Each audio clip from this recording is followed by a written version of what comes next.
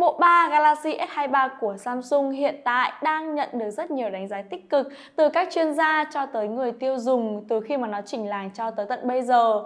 Và hiện tại thì bộ ba Galaxy S23 này đang phá kỷ lục về đơn hàng đặt trước với hơn 1,09 triệu đơn tại Hàn Quốc. Nó nhiều hơn 7% so với dòng Galaxy S22 của năm ngoái. Và đây cũng là con số nhiều nhất từ trước cho tới nay đối với dòng Galaxy S tại quốc gia này. Xin chào các bạn đã quay trở lại với NT Studio và mình là Huyền. Hãy để lại một like, một subscribe cho NT Studio để chờ đón những thông tin công nghệ mới tiếp theo nhé.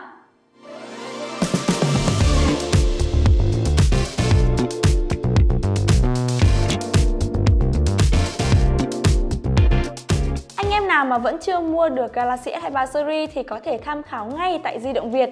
Link thì mình sẽ để ở phần mô tả của video này nhá.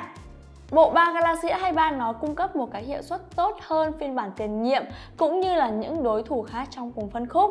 Dung lượng pin lâu hơn và cụm camera cũng được cải thiện hơn rất là nhiều. NT Studio cũng vừa cập nhật được một thông tin đó chính là Samsung vừa tiết lộ rằng họ nhận được cái lượng đơn hàng đặt trước kỷ lục từ trước cho tới nay đối với dòng Galaxy S23 này tại Hàn Quốc. Đây cũng là một cái minh chứng cụ thể nhất này rõ ràng nhất từ trước tới nay khi mà hãng tung ra cho chúng ta biết. Samsung đã nhận được hơn 1,09 triệu đơn cho bộ ba Galaxy S23 này chỉ sau 7 ngày mà thôi. Trong đó thì Galaxy S23 Ultra nó chiếm 60% tổng số đơn hàng đặt trước. Tiếp đến sẽ là Galaxy S23 chiếm 23% tổng số đơn hàng đặt trước và cuối cùng là Galaxy S23 Plus nó chiếm 17% so với đơn hàng đặt trước. Và vào năm ngoái thì Samsung Galaxy S22 nó có lượng đơn hàng đặt trước là 1,01 triệu đơn ở tại xứ sở Kim Chi này. Và Samsung cũng đặt mục tiêu là sẽ bán được hơn 10% số lượng sản phẩm Galaxy S23 này so với S22 vào năm 2023.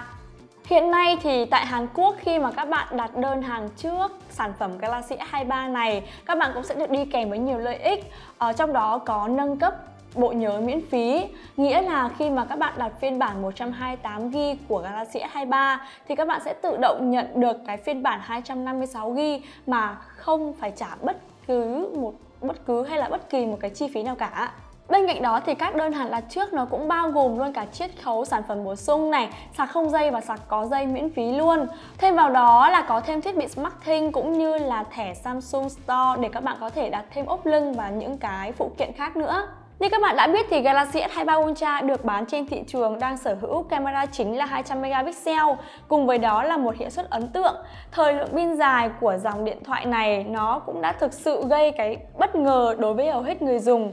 Tất nhiên là ống kính máy ảnh tuyệt vời này thì khả năng chụp ảnh này, quay video trong điều kiện thiếu sáng chắc chắn là sẽ được cải tiến hơn rất là nhiều rồi. Phiên bản Galaxy S23 và S23 Plus nó cũng có hiệu suất được cải thiện hơn, được nâng cấp hơn so với cái phiên bản tiền nhiệm nữa. Thêm một thông tin nữa mà mình cập nhật được đó là tại một cửa hàng bán lẻ tại Việt Nam thì cái đơn hàng đặt trước về bộ ba Galaxy S23 này nó cũng đã lên tới là 3.000 lượt đặt trước rồi. Đây cũng là một con số mà thể hiện được cái sự sức hút của cái dòng Galaxy S23 này nó vô cùng lớn, cực kỳ lớn rồi. Và giá bán khởi điểm của dòng Galaxy S mới này nó cũng lần lượt có giá khoảng từ 24 đến 31 triệu cho từng phiên bản.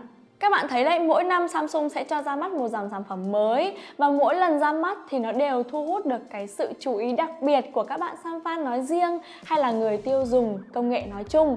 Và mình nghĩ là cái việc dễ dàng phá kỷ lục của sản phẩm mới này so với phiên bản tiền nhiệm trước đó nó không nằm ngoài dự đoán của ông lớn công nghệ này đâu.